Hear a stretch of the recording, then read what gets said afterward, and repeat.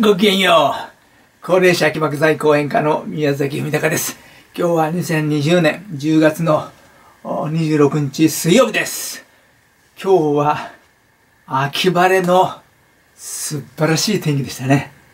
それで今日は我が家の前の畑をですね、えー、玉ねぎを植える計画があります。11月の初旬に植えようと思ってますので、今その苗床、玉ねぎの苗床を作っているところです。今日は天気がいいので、えー、苗床を今作り始めましたのでね、今日それをこの後見てもらおうと思います。私があの、実際行って苗床を作っているところをね、見ていただこうと思います。まあ、何せ高齢者ですからね、えー、いっぺんにはできないんですよね。もうコツは、コツコツとやることがコツですね。もういっぺんにやつね、もう、普通若い人なら今一日で、半日でできるぐらいとか、私も何日もかけてですね、えー、まあ、そうですね、四五日から、えー、ゆっくりかけて、コツコツとやっていこうと思っております。まあ、それが、あの、高齢者のコツですね。一気になるとガタッといくんですね。テンションがガタッと腰にくるんですね。これが高齢者はね。ですから、コツコツやるのが高齢者になる秘訣です。この後見てください。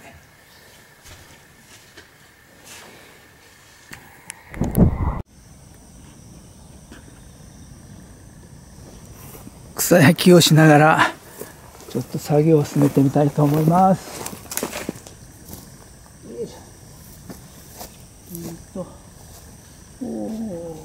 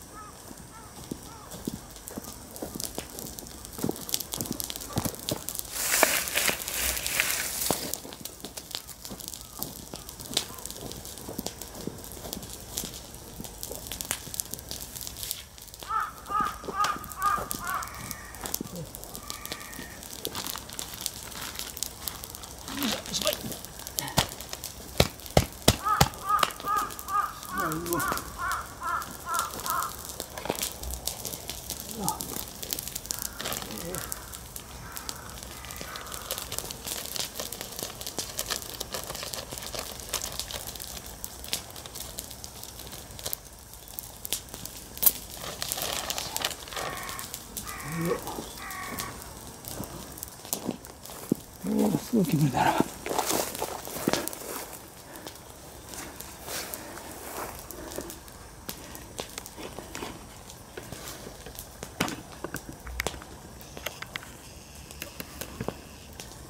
石灰を今から巻いて鶏粉も巻いておお煙がすごいたな打ち込みたいと思います。お煙だ。煙が目に染みますな、これ。おお、すごいな。風が向こうから来た。まあいいか。煙の中で使用するか。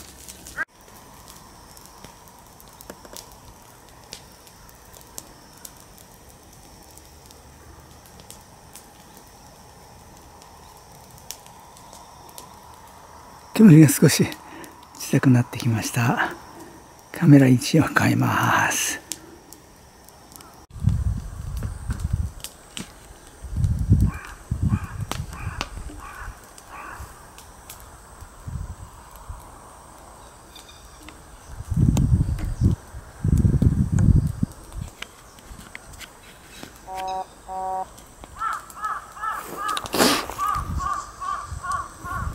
よいしょじゃあ石灰を巻きに行きます。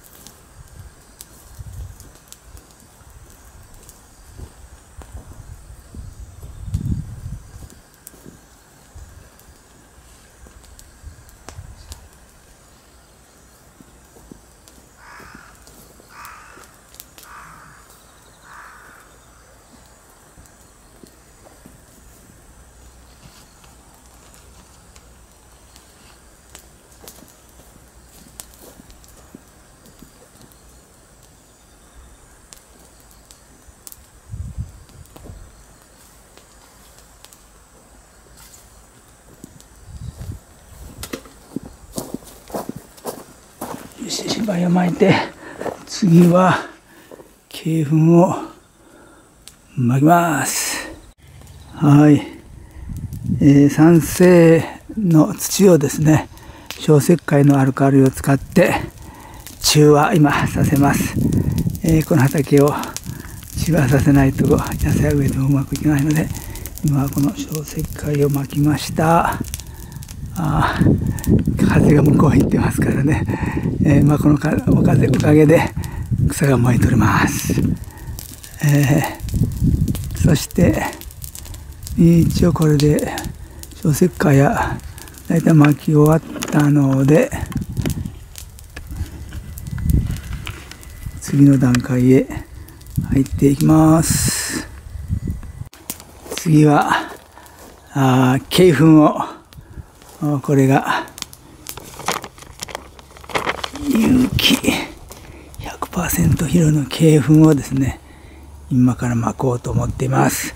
巻いてですねまあちょっと打ち返して混ぜてそして今年もですねこの玉ねぎならこれで一発 JA の肥料 JA の肥料というのねこれをあの買おうと思ってます。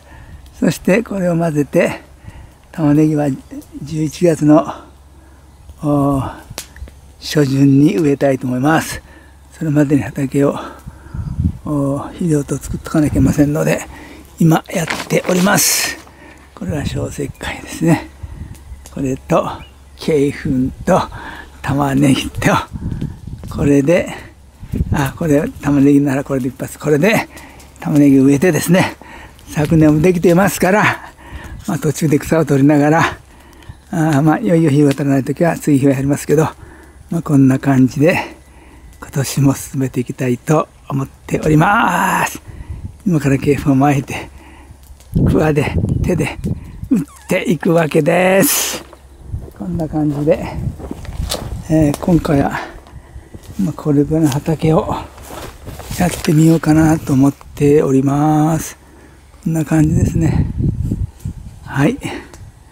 今から巻いて打ちます。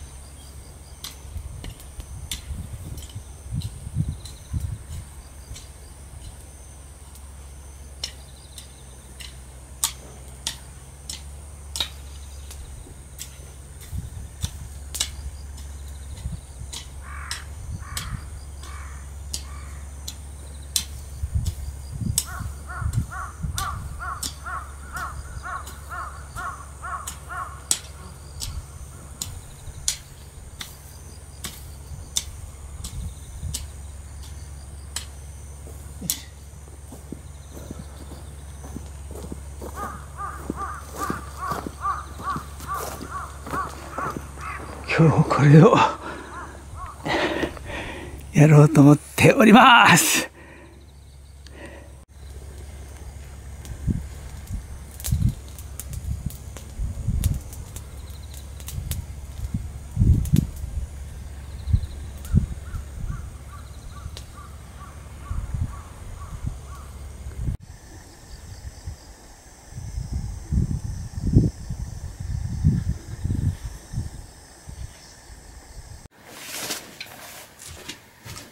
いかがでしたでしょうか？